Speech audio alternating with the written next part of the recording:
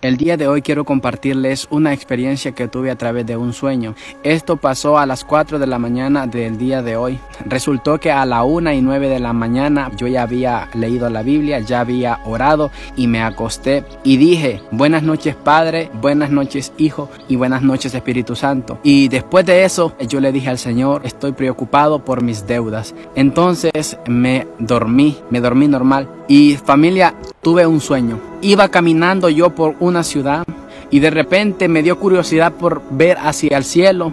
Y cuando yo vi para el cielo vi una nube blanca, muchas luces de color blanco que en el sueño pues eran personas en un segundo levantadas hacia el cielo. Pero cuando yo estaba viendo esa escena, yo pude sentir el Espíritu Santo en mi vida. Yo pude sentir aquello de parte de Dios como que también me iba a impulsar hacia el cielo. Pero familia, yo no tuve la oportunidad de ser raptado. Yo me angustié y, yo me empecé a desesperar y, y yo empecé a decir, ¿por qué me quedé si yo he estado orando? Y yo empecé pues a examinarme en mi vida y yo empecé a decir, pero si yo he estado constante en esto y en el otro y yo decía en mi corazón, fue por mis deudas que me quedé. Acuérdense familia que les dije que yo me había acostado diciéndole al Señor, Señor, me acuesto y estoy preocupado por mis deudas. Entonces yo dije, fue por mis deudas que me quedé y yo estaba angustiado. Y una voz me habló a mi corazón y me dijo, no te preocupes porque solamente es un sueño. Pero como yo estaba experimentando la escena, y yo decía en mi corazón,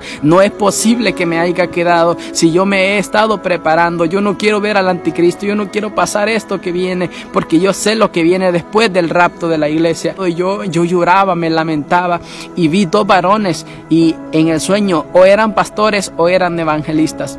Yo los vi vestidos como cristianos y ellos andaban evangelizando. Y había muchas personas a mi alrededor, pero nadie de las personas que estaban ahí sabían lo que había pasado. Solamente yo sabía lo que había pasado.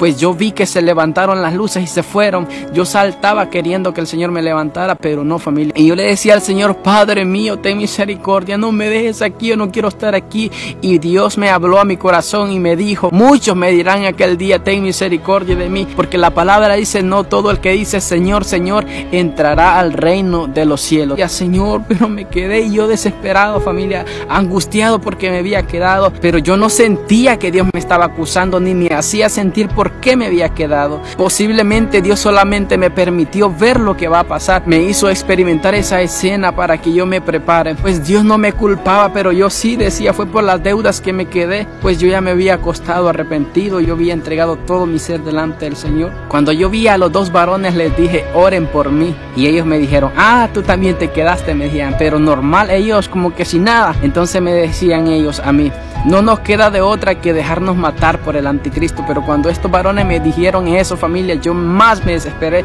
y yo lloraba amargamente. Y después de eso, familia, me desperté y, me puse a pensar. Y yo le dije, al Espíritu Santo, buenos días Espíritu Santo. Y vi la hora, eran las 4 y 13 de la mañana. Y yo le dije al Espíritu Santo, ¿por qué me has despertado de esta manera? ¿Por qué me has hecho esto? Le dije yo, ¿por qué has permitido esto? Y el Espíritu Santo me hizo sentir en mi corazón, porque te amo, te lo he hecho sentir, prepárate, prepárate. Eso sentí en mi corazón, algo que me dijo, prepárate, prepárate.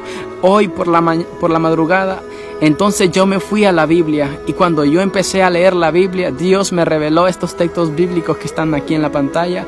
Familia, preparémonos. Dice la palabra que no todo el que diga Señor, Señor entrará al reino de los cielos. Entonces familia, preparémonos. Cristo viene pronto. Jesús está a la puerta. Delante de Dios no hay excusas. Acordémonos que Dios es omnisciente. Dios conoce nuestro corazón, nuestras intenciones, nuestros pensamientos y Dios examina hasta lo último de nosotros. Nosotros no nos podemos excusar delante de Dios. Dios es omnipotente y Él conoce toda nuestra vida. Delante de Dios no existen excusas, no existe justificación. Preparémonos familia. Cristo está a la puerta y Dios está hablando angustiadamente que nos preparemos porque el día de Cristo se acerca. Dios está a la puerta. Espero que este mensaje sea de bendición para ustedes y esto no es para darles miedo, sino para que ustedes reflexionen y ustedes se examinen y se pongan a cuenta con el Señor porque Cristo está a la puerta. Mi nombre es Saúl Vanegas y nos vemos hasta la próxima. Dios les bendiga.